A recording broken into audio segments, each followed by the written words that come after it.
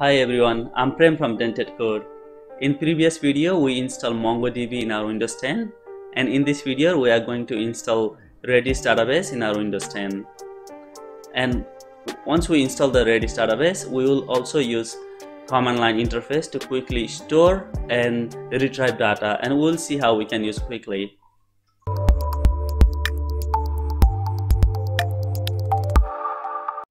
Just search for Redis GitHub and click on this link. I'll put i'll provide the link in description below. And scroll down and search for release page. Click on the link and go to the releases page.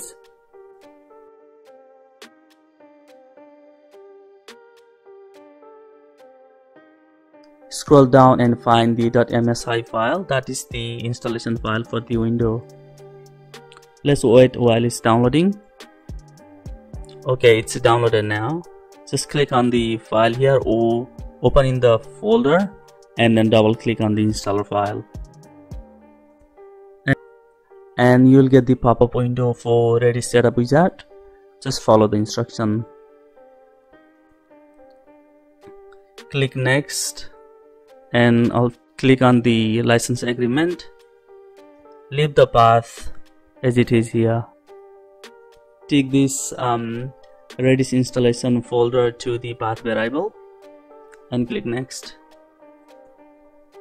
Leave the port leave the port as default click next. Leave the memory limit as it is click next. Now click on the install. So once you click on the install you may get user account control setting window pop up if you get that one click on S. Okay the Redis installation process is completed. Let me show you where it is installed. Go to the C drive.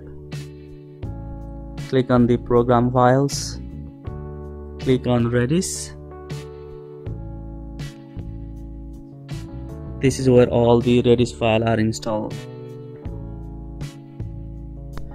See here you can see the Redis server and Redis CLI. The Redis server is already running while we are installing with the installation wizard. Now just simply click and open the Redis CLI. Okay, this is the Redis client console. Here we can simply do Redis query. Uh, before we join query, let's quickly check uh, if the Redis is connected to the Redis database or not. If you type ping here, it should return pong if the client is connected to the database. Yeah we get the pong. So that means that our client is connected to the database. So our database server is definitely running. There's another way we can confirm whether our redis database server is running or not. So start the window search for the services just click in any of the list and press R so that we can go to the alphabetically order list of R so if you are here for the first time and if you don't know how the services works please don't change anything here otherwise you might run into trouble while using computer. Here you can see the redis running. So the status is running that means the server is running. And the startup type automatic means every time when your computer restarts the Redis server will restart as well. So you don't have to come manually and start this one. Let's close it. Let's see how we can store our data and then retrieve it from the redis database.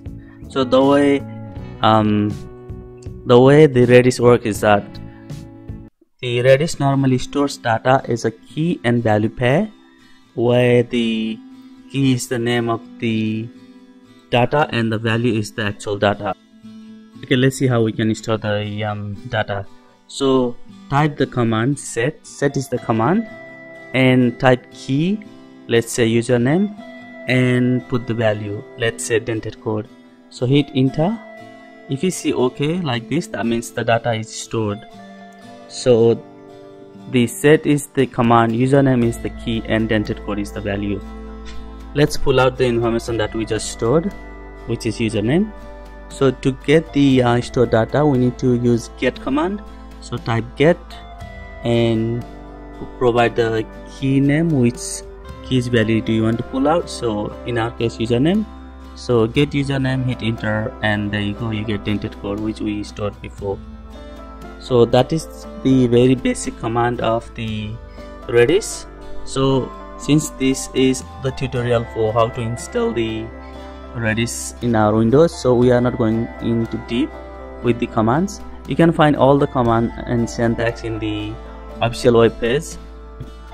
And you can close this console by typing exit. There you go.